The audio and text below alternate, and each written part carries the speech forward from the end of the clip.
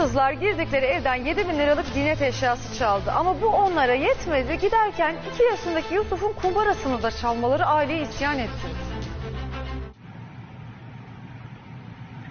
Hırsızlar önce güvenlik kamerasının yönünü çevirdi, kapıyı tornavidayla açıp eve girdi. Evi adeta talan eden hırsızlar evin en küçüğü 2 yaşındaki Yusuf'un birikimini bile çaldı.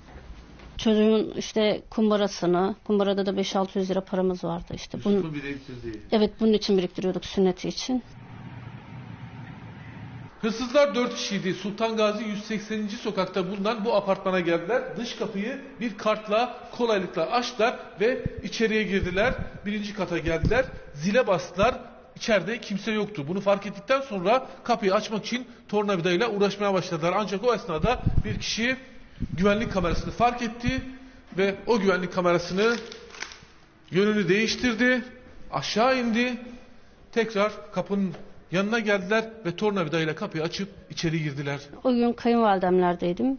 Binaya giriyorlar. Binada zillere basıyorlar. Evin her tarafını dağıtıyorlar. Bunları açmışlar. işte fortmantoyu boşaltmışlar. Yatak odasında bazanın altı her yer. Dolaplar falan. Çocuğun beşiğini dahi dağıtmışlar. Hırsızlar o kadar rahatlardı ki sigara içerek kapıyı açtılar. İçeri girer girmez de işe koyuldular. Hırsızlar kapıyı açtıktan sonra hemen evde arama yapmaya başladılar. Önce işte dolabı açtılar ve burada ev sahibinin kramponları vardı. O kramponları aldılar ve yatak odasına yöneldiler. Yatak odasına geldiler ve yatak odasına arama yapmaya başladılar. Zinet eşyası ve para arıyorlardı. İşte dolapları açtılar, buraları karıştırdılar ve burada bulunan zinet eşyalarını diğer dolaplarda bulunan paraları aldılar ve salona doğru hareket ettiler. Eşimin saatlerini, benim ziynet eşyalarımı, eşimin tesbihlerini tahmini 7 bin lira. Hırsızlar evi adeta talan etti. Değerli ne varsa aldılar ve en sonunda da salona doğru yöneldiler. Salona geldiler.